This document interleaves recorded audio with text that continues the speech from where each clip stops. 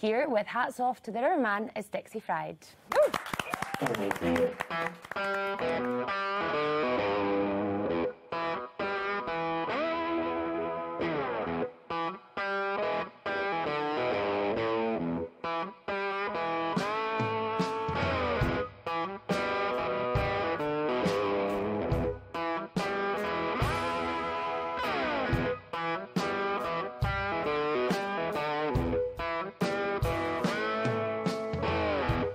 heal this fear.